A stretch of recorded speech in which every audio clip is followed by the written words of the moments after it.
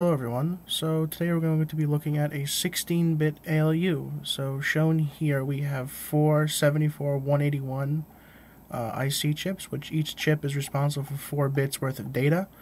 And on the right side over here we have a 74-182. And we have our F bus here which collects all of our output data from each uh, 74-181. So each chip outputs 4 bits worth of data we have our A bus and our B bus, which is what we use to do uh, our operations on either arithmetic or logic functions. Our M is a selection between logic functions or arithmetic functions. And then we have the S bus up here, which is our selection, which tells each chip what exactly we're doing. Um, so if I were to run this, for example, oh, and then we also have our C stem over here, which is our carry in or carry is our selection between either having a 1 as a carry in or 0 as a carry in. Bring up the display.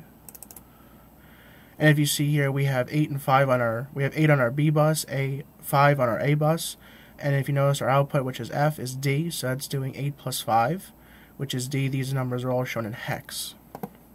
And if we wanted to change the arithmetic function that these chips are performing, we could simply look up this table here and we have our selection mode which is our S bus here and then you see our M here which high when it's high it's logic functions when it's low and our carry in is also set to high. We're doing arithmetic functions. So right now we're in this column the way we have it set up so we're doing this function right now. So say we want to change that function to do a minus 1 so that would take the data on the A bus and subtract 1 so that's all high on the S bus Go over to the S bus, and we change our data here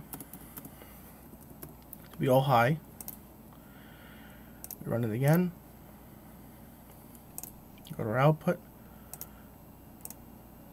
Visualize it, and if you notice here, we took, we ignored our B bus entirely. We took our A bus, which was 5, and we subtracted 1, which is 4. Um, this was a very short run through of a 16-bit ALU in OrCAD Capture. Thank you.